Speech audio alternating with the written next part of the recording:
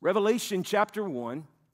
Revelation chapter 1, verses 19 through 20. The notes are there for you on U YouVersion, so you can pull those up. Scripture references will also be on the screen uh, behind me, or actually on the wall because we don't have any screens. So I- will be more emphatic about that. Revelation 1, beginning with verse 19, John writes, Therefore, or Jesus, the resurrected Christ, the glorified Christ, speaks to John, and John writes down, The Lord says, Write therefore the things which you have seen, the things which are, and the things which will take place after these things. The things which are seen is everything that Christ, the glorified Christ, the resurrected Christ, who now sits at the right hand of the Father, is speaking to John in chapter 1. So, again, the things that are is everything that Christ has revealed in chapter 1. And then he goes on and he speaks about those things that you have seen, chapter 1, those things which are, which is the revelation to the seven churches in chapter 2 and 3, and the things will, will take place in the future, which verse 19 speaks to, which is from chapter 4 through the end of Revelation. And then in verse 20, he says, As for the mystery of the seven stars which you saw in my right hand, and the seven golden lampstands, the seven stars are the angels of the seven churches, the pastors, the messengers of the church, and the seven lampstands are the seven churches. And we know at the end of the first century, as we have been looking, and if we dig into church history, we find at the end of the first century, Christianity was facing mounting persecution or opposition from the Roman Empire.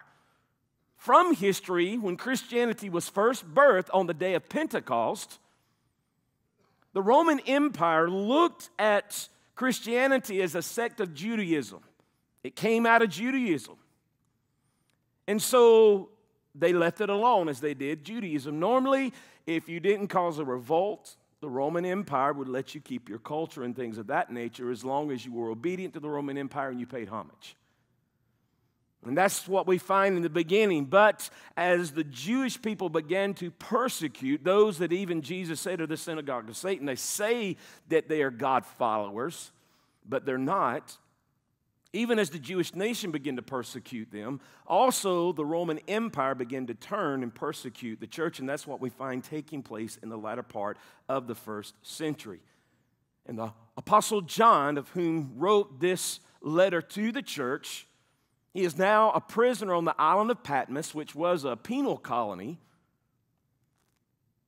And he was there because of his faith in the one true God, which went against the Roman empire embracing a plethora of gods. Chief among them, let us not forget, was the Caesar of Rome. And it was on this Isle of Patmos, this penal colony, that Christ, the glorified Christ, appears to John to send a message to the world. A message that is today what we know as the book of Revelation. And again, it's not revelations because there is only one revelation, and that is Christ when we read the book of Revelation, it's not about end time events, it is about the revelation of Jesus Christ, that He has won the victory, and through His victory, we have victory. And the book of Revelation reminds us that God is the writer of history. He's already written everything down, and no matter what man does, it goes according to the plan and the structure that God has already established. And so it just reminds us again of His authority and that as we continue to set our hopes and our trust in Him, we will not be disappointed. This is a message of the past, Romans 1, of the present, our Revelation 1, the present, Revelation 2 and 3, and the future, Revelation 4 through Revelation 22. So tonight we are finishing our series on the seven churches of Revelation. And as I have on each of the churches, as we've looked, we've always looked at the historical background because what we found in our study together is the historical background, it went along with what Christ pronounced to the church. When we look at the city of Laodicea, what we find is a wealthy city in Asia Minor, a wealthy city. In fact, the city lay on one of the greatest Asian trade routes. It was a crossroad of the trade routes which ensured its commercial prosperity. Laodicea, history tells us, was a leading banking center of the region. In fact, it is said that the textiles from Laodicea were coveted all over the known world at this time. And contributing to the general economic picture of Laodicea was the success of the hillside shepherds. And these individuals, they bred a certain type of sheep that were famous for their black and glossy soft wool. And this wool was the source of black cloaks and carpets, which made the city famous. Laodicea was also home of a medical school, and it manufactured collyrium, which was famous as an eye salve. Again, remember all this history because it definitely connects in with the word that Christ has to the church. But it was famous for its medical school and for the eye salve that was sought by many in the region. And the affluence of this city was so great. You remember, we talked about the cities in this region like Philippi and others that were devastated by an earthquake in AD 17. And Laodicea was one of those cities. And we talked also about how that the Roman Empire, the Senate, sent aid to these cities because it devastated them. But Laodicea was so uh, rich in, in, in its influence that when the Senate said, hey, we'll give you means to be able to rebuild, Laodicea says, thanks, but no thanks, because we've got it covered. That's how economically sound and wealthy this city was. And as we come to verse 14, as Christ has for each of the churches, he always starts out by identifying himself to the church. So let's begin reading Revelation 3 in verse 14. The Lord says to the angel of the church in Laodicea, Write, the Amen, the faithful and true witness, the origin of the creation of God, says this. Father, we just pray, open our hearts to receive your word. That, Lord, we may be living epistles of your truth. Lord, we ask and we pray it in Jesus' holy name. Amen. Christ has already affirmed himself as the Lord of the lampstands.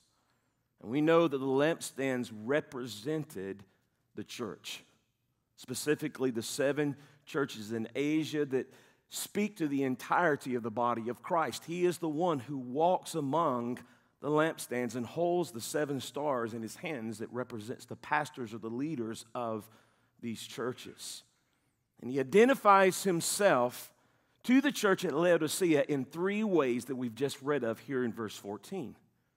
In fact, the first way is he says, I am the Amen. The Amen.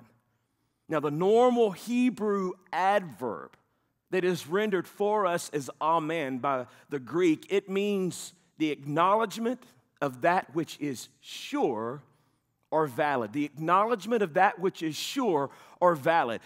The root idea of this word is firmness, it's certainty, it's the assurance of our faith. So the reference points to the fact that Christ is the affirmation of God, of who God is in representation to his creation. As the Amen, he, Christ, guarantees the truth of God's promises. But not only is he the uh, Amen, the guarantee of the truth of God's promises, the affirmation of God to his creation, Christ also presents himself as the faithful and the true witness.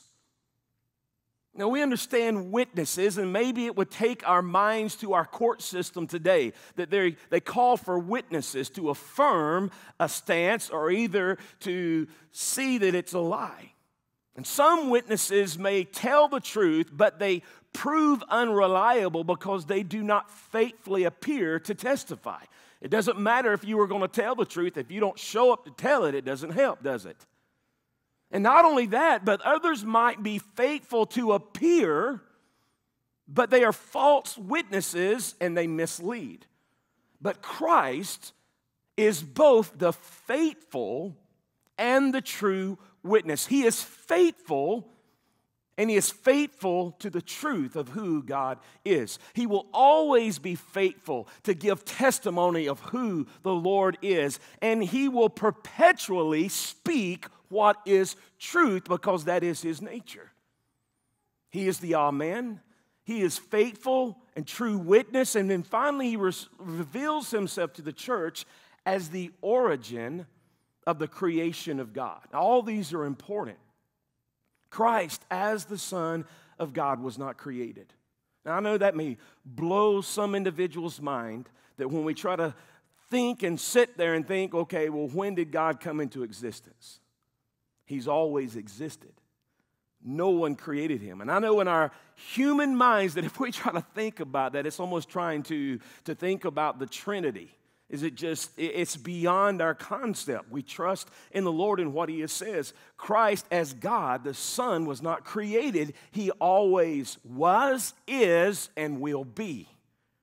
And He is, as the origin of the creation of God, He is the mediator the mediator in God's creation. He is God's agent in creation. In fact, John said it this way in his gospel account, the last of the four accounts given in John 1 3. He says, All things came into being through him, through Christ. And apart from him, not even one thing came into being that has come into being.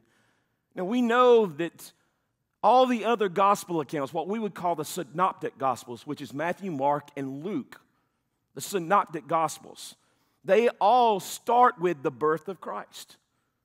The birth of Christ. And what John does, being that those gospels, the synoptic gospels, have already been written, what he does, he says, I am writing to stir you to believe in the Son of the living God. We find that at the end of John. But where he starts is in the very beginning. In the very beginning. And he speaks to the eternal nature of Christ because he is God. And as we've read here in verse 3, all things came into being through Christ. And apart from Christ, not even one thing came into being that has come into being. Before there was anything, there was God, Christ. So, verse 14, Christ declares himself as the affirmation of God, the Amen the faithful and the true witness, the one who rules permanently over God's creation.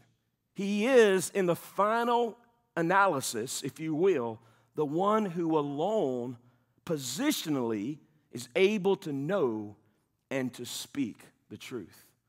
And having identified himself, the Lord now identifies the issues, the problems within the church in Laodicea affirming once again that He is the one who knows our deeds.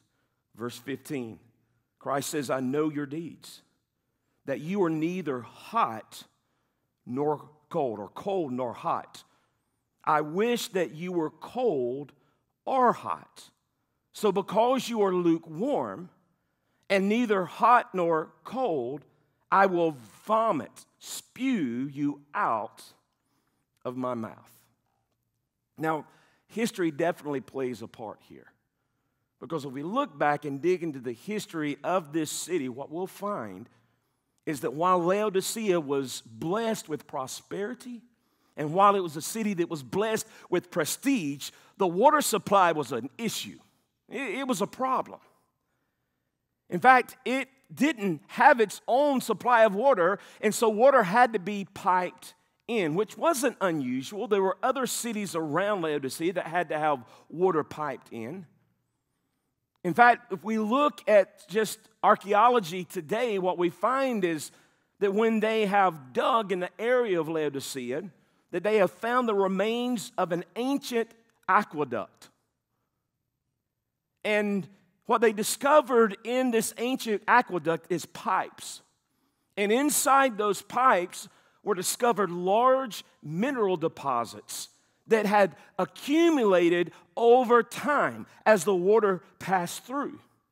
And as they've tested this and as they've looked at it and even looked at Laodicea's history, what this indicated is that the water that arrived from its source was, that was used in Laodicea was mineral laden. And so, therefore, it was nauseating to the taste. In fact, Laodicea was known for its nauseating water. Anybody ever tasted water that was nauseating? Okay, so, so you can identify with that. Well, that was kind of the thing for this city is it had nauseating water. It became well known for its tepid and revolting water, which almost everyone found repulsive. And Christ says, and it helped them to identify because they lived here. Christ says to the church in Laodicea that, like your own water supply, you are lukewarm, you're not cold, you're not hot, and you're disgusting to my taste. Now, there are pages upon pages that are written discussing what Jesus meant regarding cold or hot. Now, have you ever thought about this? The word hot. I mean, we can grasp that, right? That's a good word. If we're on fire for the Lord, of which we say many times, then the word hot really kind of leads to that, doesn't it? But, but how can we equate that Jesus says, I would either desire you to be hot on fire or to be cold? Do we find anywhere else in Scripture that the Lord would say, I wish you were cold? And there's been countless pages, like I said, with theologians writing, what did Jesus mean by the word cold? What did he mean by referring to cold? Well, if we dig into the history, and you guys possibly already know this, so I just want to refresh it. If we look again at the region, what we find in keeping in the historical context of the water issues in Laodicea, what we find is that just a little south of them, if I'm not mistaken, it was south, was the city of Colossae, of which Paul wrote Colossians to the church in Colossae. And Colossae was known for their cool, refreshing water because the water supply that they received was from the mountain peaks that had snow, so when the snow would melt, it was cool. How many of you like when you go and you want some water, you like ice water? I mean, I like ice water. It's refreshing. Well, Colossae was known for their quote unquote, not like we have it today, but ice water, if you will. It was cool, it was cold, it was refreshing. And another neighboring town is Hierapolis. And Hierapolis was known not for their cold, refreshing water, but Hierapolis was known for their hot, refreshing springs. I don't know if anybody likes to, to get into hot tubs, or if you like to go to some places like Hot Spring, Arkansas, that has hot springs that you can, give in, you can get in. Well, from my understanding with the minerals and different things in that, is it actually helps your joints. it, there's purpose. So individuals found pleasure in the hot springs of Hierapolis, and they also found pleasure in the cold, refreshing water of Colossae. And so, since we find in the historical context, I don't think it would be a reach for us. Many theologians agree in this flow of thought that what Jesus is referring to here is that he is telling them that he wished that they were either a fresh, life giving drink of cold water or else they were a healing hot mineral bath. Both brought about satisfaction or brought about ministering to a need. Fresh, life giving drink of cold water or either the healing of a hot mineral bath. But because they were neither, they weren't refreshing and life giving nor healing, they were simply, Jesus says, disgusting to the taste. And he says, I'm going to spew you, spit you out of my mouth.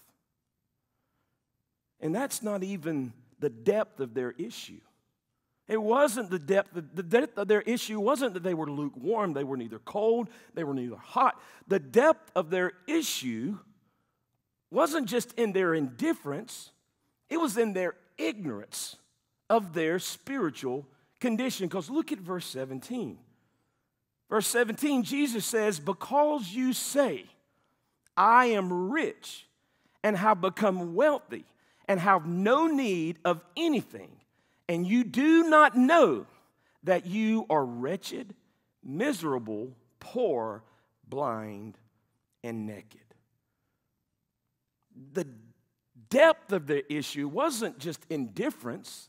The depth of their issue is they didn't realize their spiritual condition, that they were neither cold nor hot, but they were lukewarm. And Jesus calls them wretched. And, and the word wretched, it describes life when everything one owns has been destroyed or plundered by war. We dig into that word wretched. We find it describes life when everything that an individual owns has been destroyed or plundered by war. And here it refers to the Laodiceans' spiritual destitution before God. He says, You're poor. Poor. Now just think about this. You're living in a wealthy city, and possibly it wouldn't be a stretch for us to think that these Christians were well off. And poor as a description of their lives may have been surprising to the congregation because of their affluency in their material means. And the word, the word poor here that is used by John, that the Lord stirred within his heart, it doesn't mean just simple poverty. No, this word for poor, it goes much deeper than that. It talks about grinding poverty, the depths of poverty and need. And like this wealthy city, its church had abundance, but still was wallowing, Jesus says, in spiritual squalor, if you will, before the gaze of the Lord. And it seems that the church's outward prosperity had made them blind to their deep spiritual need. And I think something else that we can take from verse 17 is just because we have material well being, it doesn't necessarily mean that we're walking in obedience with God. That's not where we put our faith and our faith in Him is in what's going on on the outside. We put our faith and our faith in Him in what's going on on the inside. Are we fully and completely surrendered to Him and find full satisfaction in Him? Now, I'm not saying God doesn't bless because we know God does bless. And I'm not saying that He does not give to us when we are faithful to Him because, as the old saying goes, you can never outgive God, right? I mean, we have testimony among testimony here, do we not? That when we're faithful to the Lord and we give sacrificially, not so we can get back, but because we want to invest in the kingdom, what does God do? He opens the windows of heaven and He does pour out a blessing. So that is all true. But what I'm saying is this, and it, it goes, I firmly do believe, against the whole prosperity message. You do this, you do this, you do this, God's going to prosper. And the, the issue with the prosperity message is we're so concerned with what's on the outside instead of what's on the inside. And here Jesus says, You're wretched, you're poor. And notice the other descriptors that, that he uses in verse 17. You're miserable, you're blind, you're naked. You're naked. And then he goes on and, and he speaks to the remedy, verse 18 and 19. Jesus says, I advise you, I advise you to buy from me gold refined by fire so that you may become rich, and white garments, so that you may clothe yourself, and the shame of your nakedness will not be revealed, and eye salve to apply to your eyes, so that you may see. And even though the state of this church was on the verge of disaster, Jesus says all is not lost. And he gives a loving rebuke to call the church back. To call him back to himself. Because notice what he says in verse 17 those whom I love, I rebuke and I discipline. Therefore, be zealous and repent. Be zealous and repent. Christ's nature is the faithful and true witnesses. He described himself. It meant that he would not hold back when it came to indictment of their spiritual condition, but also it, he doesn't set aside his love and his grace. He is the faithful and true witness, but he is also the one who, in love and grace, came so that we could have life. And aren't you thankful that when we mess up the first time or the second time or the third time, that He doesn't kick us to the curb? I'm done with you. Like the woman we always make kind of fun when we say the joke about the guy that continues to come up revival after revival after revival. Lord, forgive me, Lord, forgive me. And you guys always, y'all know the punchline. Lord, don't fill him because he leaks. Whatever you do, it's just going to go right out. But I'm thankful for God's mercy. I'm thankful for His grace, and I'm thankful for His love. It wasn't too late. They hadn't reached the point of no return to the Lord. And first, Christ tells them to buy from Him. Buy from Him. Now, notice, again, all the history of the city, of their community and everything, the Lord addresses it. It coincides with how He deals with them spiritually. It's not a stretch for us to believe because they live in this city that they weren't affluent and they didn't have the means to go out and buy. And he says to them, Buy from me. Buy from me what? Gold refined in the fire that can make you truly rich. Buy from me, Christ says, white garments to clothe your nakedness. Buy from me eye salve so that your eyes could be healed to see again in a city that where it was a banking center in the day. And not only that, they were very prosperous. People in the church probably had means, but he says, Don't find your means there, find your means in me. The city was also very famous for the eye salve that they used to sell, that people would come from all over to purchase. And the Lord says, Buy from me eye salve so that your seeing, your spiritual eyes can be healed and you can see again. In essence, Christ was telling them to stop trusting in themselves and turn completely to Him. In place of dependence on worldly wealth that bought that brought about spiritual poverty because that's where they were, Christ offered true spiritual riches. And in place of relying on their outer appearance that left them spiritually naked, Christ offered to clothe them in his own righteousness, which we know the white garments in other places in Scripture, even here in Revelation, speaks to that. Clean, spotless. And instead of a physical salve to heal to heal blurred vision, Jesus offered them spiritual eyesight to cure the spiritual cataracts, if you will, of their character. But then notice also, Christ reassured them. He reassured them of his love. Though he severely rebuked them, he added words of love. Those whom I love, I rebuke and discipline. Those whom I love, that's Jesus' word to his people. Those whom I love, I rebuke and discipline. Proverbs 3:12 speaks to this, for whom the Lord loves he corrects, just as a father the son in whom he delights. In fact, the writer of Hebrews gives more detail to this subject of God's loving discipline in Hebrews 12, verses 7 through 11, and I want to read it in the New Living Translation. It says, As you endure this divine discipline, remember that God is treating you as his own children. Whoever heard of a child who is never disciplined by his father? Verse 8 If God doesn't discipline you as he does all of his children, it means that you are illegitimate and are not really his children at all. Since we respected our earthly fathers who disciplined us, shouldn't we submit even more to the discipline of the Father of our spirits and live forever? For our earthly fathers disciplined us for a few years, doing the best they knew how, but God's discipline is always good for us so that we might share in His holiness. No discipline is enjoyable while it is happening. Why? Because it's painful. But afterwards, after the discipline, after we've submitted to the discipline. I never once turned around and thanked my daddy when he was whooping me. Anybody ever do that? Thank you, daddy. I needed that.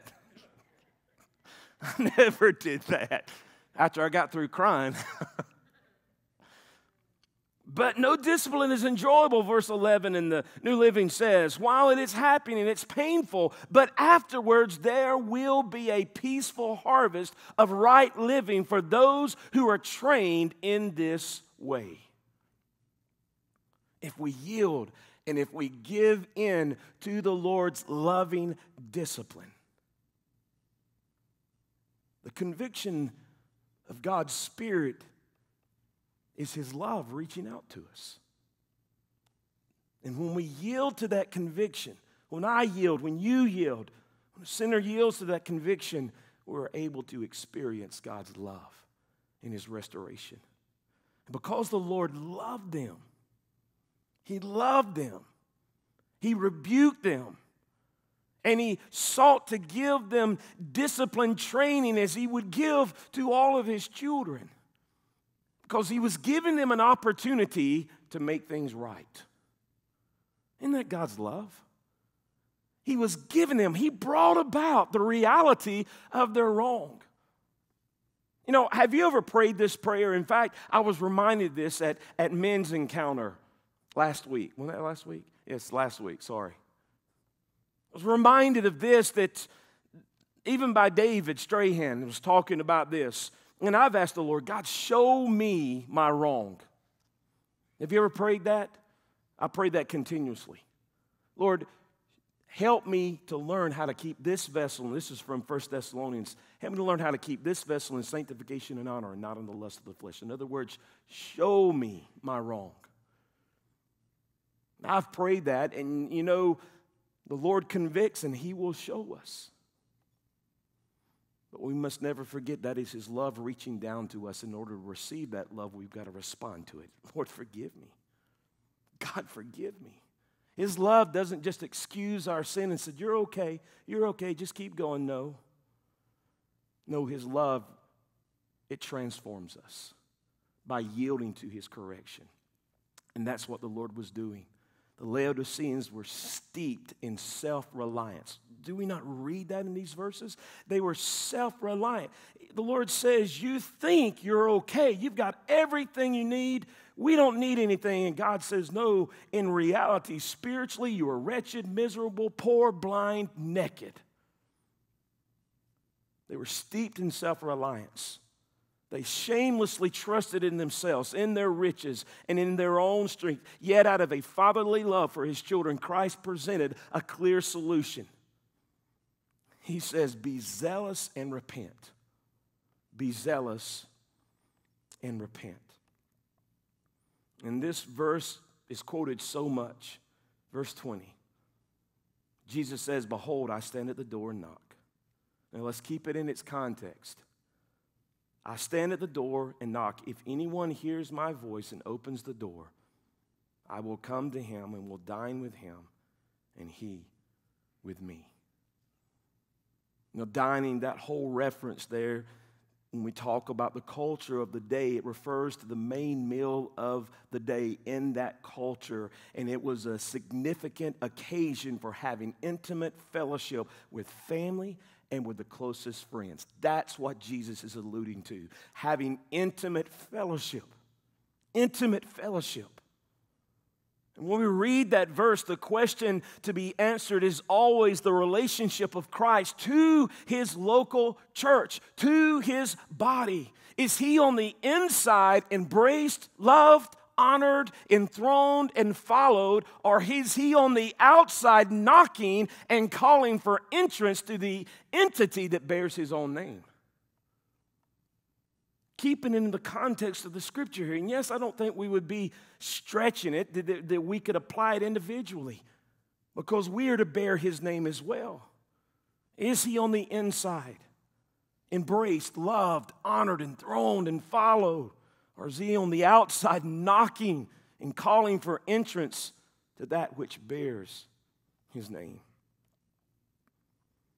And then he finishes in verse 21 and 22. He says, The one who overcomes In other words, the one who hears my word, receives it, and responds by faith, and walks faithfully with me, the one who overcomes, I will grant them to sit with me on my throne, as I also overcame and sat with my Father on his throne.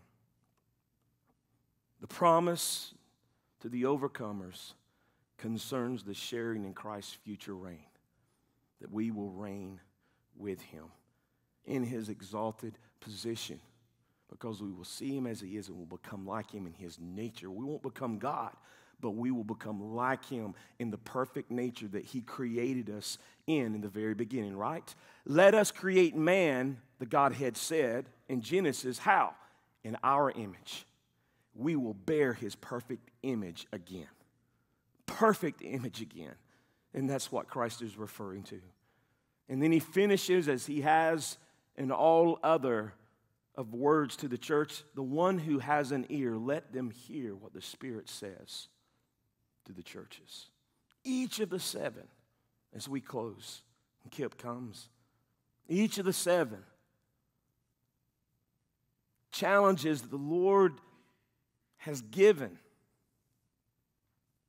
an aspect of what Holy Spirit keeps on saying to the body of Christ, corporately as well as individually. We find Holy Spirit wants all all churches, the body of Christ as a whole and individually of all ages to hear the message. He wants all of us individually to hear the message, corporately, individually to hear. Not just as something that was once upon a time when individuals won a victory, but that we as overcomers would walk in victory. The promises are to those who keep on overcoming to those who keep on winning victories in Christ because we are fully and we're completely dependent upon Him in our lives. As overcomers, winners, victors, we know we will have problems. We'll have battles, we'll have difficulties, and, and even times that we feel defeat. But we have to remember that Christ's victory is the secret of our victory. And we have to keep our faith in Him. 1 John 5 5 says, Who is the one who overcomes the world but the one who believes that Jesus is the Son of God? And that word believe, it doesn't just speak to something that we have in our head, a creed that's, that we know, but it, it speaks to the way that we live our lives and the way that we respond to who He is. As we move on from this study, Starting next Wednesday, as I've been praying, just asking the Lord to just lead me in what to bring to you, we're going to begin a study in the fruit of the Spirit. And then it's going to move us into the gifts of Holy Spirit. And what we find in Galatians with the fruit of the Spirit, and what we find in Romans chapter 12, in 1 Corinthians 12, 1 Corinthians 14, as well as in Ephesians chapter 4. And this goes along with what we're going to end the service with tonight. We find the Lord talking about the fruit, the character of Christ. And what we find is the giftings that God has given to enable us as His children to do what He's called us to do, encouraging one another and strengthening one another and coming alongside of one another and glorifying His name, but also reaching into the world and carry the Great Commission, the love of Christ. All of that, the character, the gifts, and as well as the fruit, they're fully dependent upon Him, upon Holy Spirit. I frustrate God's grace when I try to become more loving. I try to become more joyful. I try to become more patient, more kind, more good. If I'm trying, I'm going to fail. If you're trying, let me just go ahead and tell you, you're going to fail. The whole deal is we are dependent upon Him to do in us by His grace what we can't do for ourselves. And that comes by being surrendered and submitted to Him and staying before Him so we can hear what the Spirit is saying. Are we fully dependent?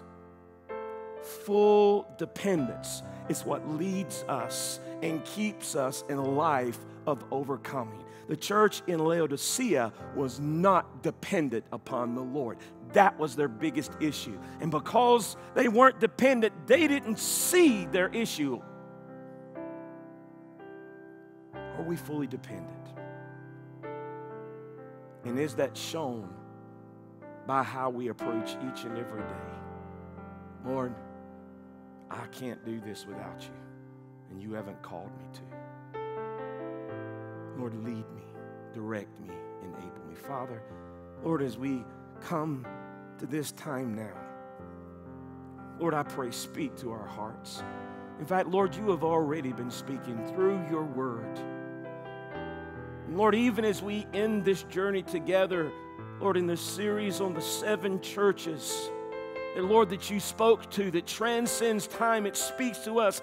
God, as we come to the church of Laodicea, we find that they were, they were fully dependent on, on their resources. They were fully dependent on their means physically. And they did not realize that they were wretched, that they were poor, that they were miserable, that they were naked, and that they were blind because they weren't dependent upon you.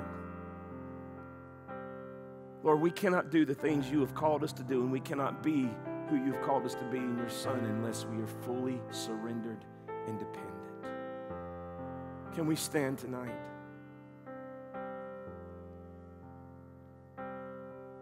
Can we just pray just a prayer of sacrifice once again?